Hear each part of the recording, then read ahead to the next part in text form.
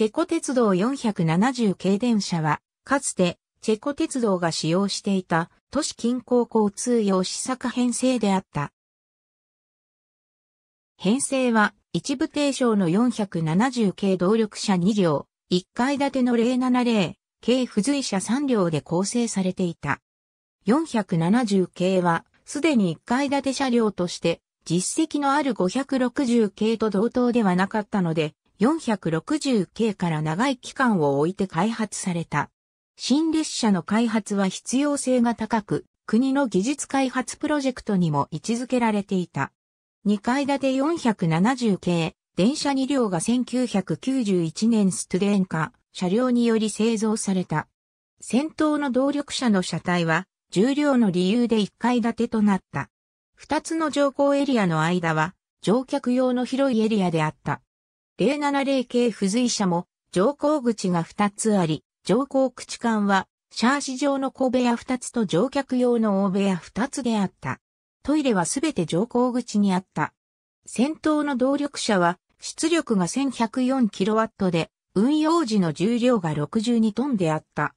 5両編成は、長さが約130メートルで満員時の重量が317トンであった。定員は座席602人、立ち席784人であった。列車の最高速度は時速 120km であった。プラハラドチーン駅での列車この列車のシリーズ製造は結局行われなかった。試作車は1991年に試験運行についた。緑色の470.001から002編成は1992年秋にチェコスロバキア国鉄に青色の470.003から004、編成は1993年2月にチェコ鉄道に納入された。両編成はプラハコリーンパルドゥビツェの路線の運用に配備された。近代化された区間では電車運用をギリギリ解決できるような悪路が明らかになり始めた。低めの出力や付随車の不十分な低角のディスクブレーキも高い出力のいらないプラハベローン間での運用決定に寄与した。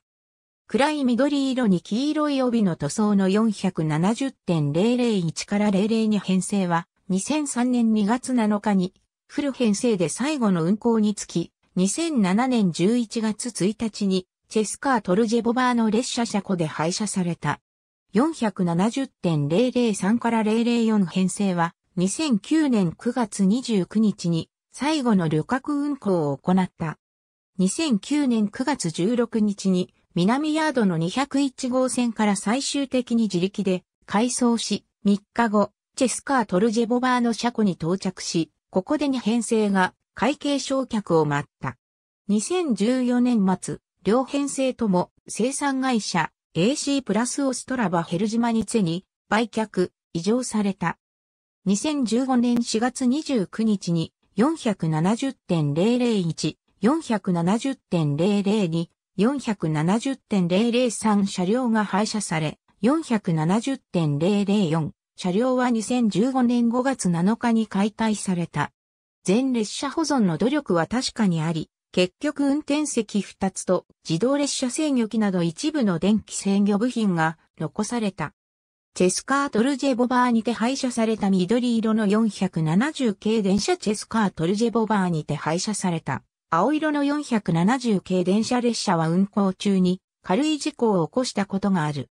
最も大きい事故は2001年10月23日、プラハマサリク駅の車止めでの列車停止で470.002電車が損傷した。続いて470.001電車が2002年7月26日にプルジェローチでヒーターが理由で出火したことがあった。車庫や路線で列車が脱線したこともある。すべて空気バネ機能なしの輸送、回送で起こったものであった。車庫では大抵曲線で脱線し、電車側については、上り曲線にあるプラハブルショビツェ駅で、ビノフラドトンネルの前で、一時バネの機能のない車輪の複雑な制御のために脱線したケースが知られている。470-003電車の座席座席は2プラス2配列である。カバーはプラスチック素材の繊維の組み合わせで通気性が良い。